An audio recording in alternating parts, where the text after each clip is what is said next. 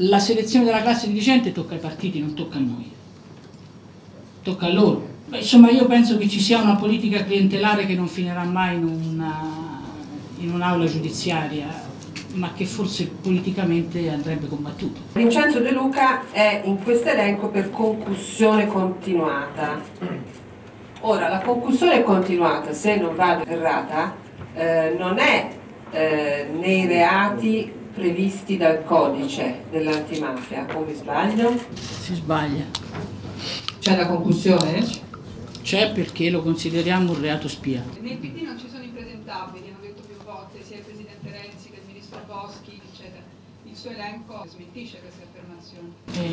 L'unica smentita cioè, riguarda il candidato alla presidenza della Regione Campania, caso assolutamente noto, nel quale come ho detto prima eh, noi non, non abbiamo inteso approfondire perché lì non servivano ulteriori elementi di conoscenza. Le liste del Partito Democratico però sono liste, obiettivamente lo dico da questi dati, nei quali non, non si riscontra nessuna, nessuna candidatura che non sia in regola con il codice, salvo il candidato presidente della Regione Campania.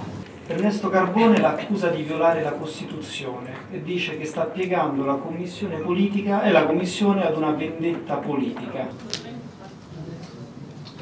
Mi, mi, mi permettete di non rispondere? Posso non rispondere? Posso non, non, non Posso non abbassarmi a rispondere, grazie. Però Presidente, eh, Carbone fa parte della Commissione antimafia ah, e anche dall'interno della Commissione antimafia, ieri ad esempio Di Lello ha detto ha fatto una nota per dire la gestione è stata tutta in mano alla Bindi, ognuno si prende eh, la responsabilità.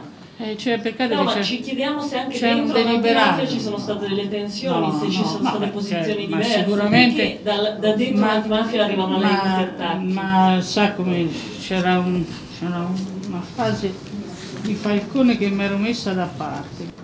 Non è per strumentalizzare, sapete che non faccio mai citazioni, ma questa mi è proprio piaciuta. Che le cose siano così non vuol dire che debbano andare così.